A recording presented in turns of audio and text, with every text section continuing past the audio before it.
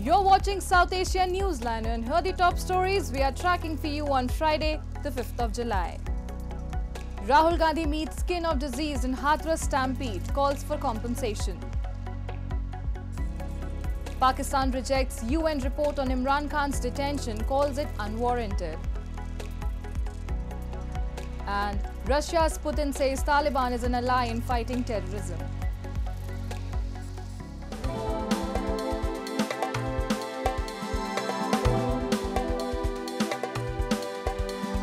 Now for all the details.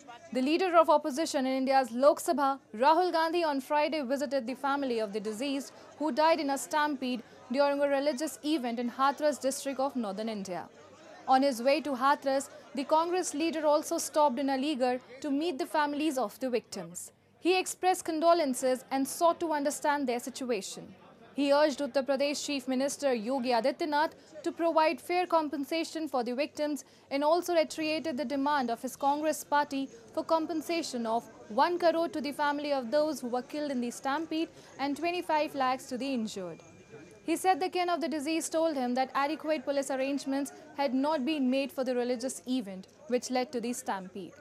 He said he did not want to politicize the tragedy and asked the government to investigate the matter. मैं इसको राजनीतिक prism से नहीं कहना चाहता हूँ मगर प्रशासन की कमी तो है। जी। और गलतियाँ तो हुई हैं मैडम फ़ोन थोड़ा साइड करिए। तो ये पता लगाना चाहिए। और शायद सबसे ज़रूरी बात कि कॉम्पनसेशन सही मिलना चाहिए। क्योंकि ये गरीब परिवार है। जी। As the victims are recovering in hospital, police on Thursday said they had arrested six people in connection with the mass crushing of devotees, which claimed 121 lives. The four men and two women arrested were aides to Bhole Baba, who were involved in organizing the event, but fled when the stampede broke out, police said. When asked about Baba's role, a senior police officer said the preacher was not named in the case they had registered.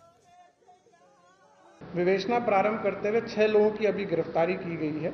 विवेचना के क्रम में ADG zone Agra द्वारा भी सभी जनपद में निर्देशित किया गया है अपने जनपद में गिरफ्तारी हेतु।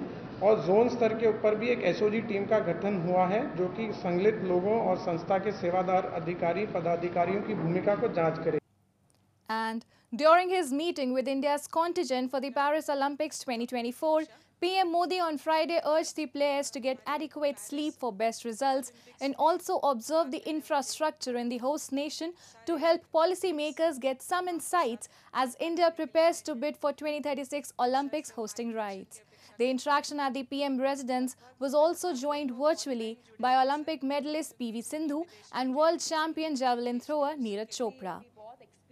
PM Modi expressed trust in the players that they will deliver record breaking performances and reminded them of the big opportunity they have in their hands to do something big for their country.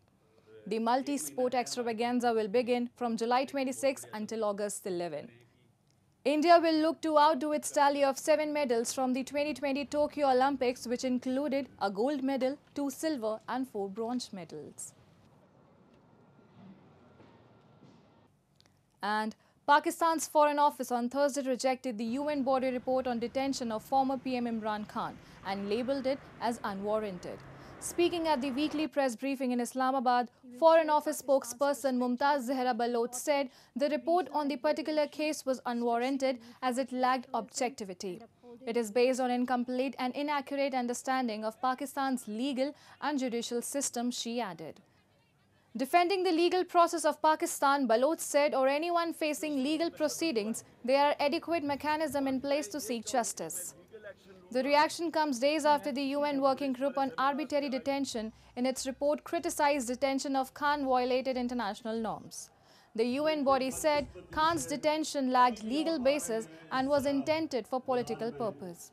Notably, Khan has been in jail since last August and was convicted in some cases ahead of a national election in February. Khan and his party say the charges were politically motivated to thwart his return to power. Moving on. The cases of enforced disappearances in Balochistan by Pakistani forces have continued to rise despite protest and international criticism, a report. The family of Zahir Baloch, a missing Baloch youth, held a sit-in protest in Balochistan's Quetta this week, demanding his safe recovery and lodging of an FIR against the culprits who abducted him on June 27 without any charges. The Baloch Yakjehti Committee, in a post on X, raised concern over the steep rise in cases of enforced disappearances in Balochistan, which are allegedly orchestrated by Pakistan's security and intelligence agencies. Activists blame, despite condemnation and steadfast resistance by the Baloch people and the international community, Pakistani state continues to perpetuate these disappearances. They accuse such atrocities are used to instill fear and exert control over the Baloch people who have been demanding independence from Pakistan's occupation. Meanwhile, members of the World Uyghur Congress on Friday held a protest in Geneva to commemorate the 15th anniversary of the Urumqi massacre to remind the world community about China's atrocities that have continued unabated.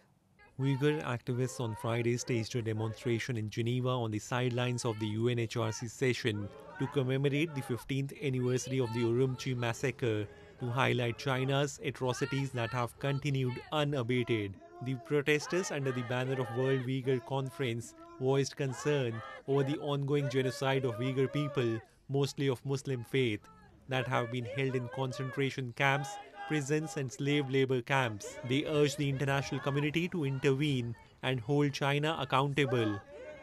We are today remembering the 5th July massacre which happened 2009 in the capital city Urumqi. That's the, the, beginning of the current genocide.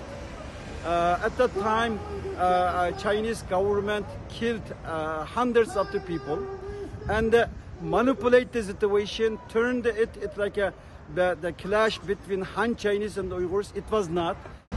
The Chinese government has, um, since 2017, detained over 3 millions of Uyghurs and Turkic people in internment camps where they're facing torture, abuse, malnutrition, um, sexual harassment, sexual abuse, and others.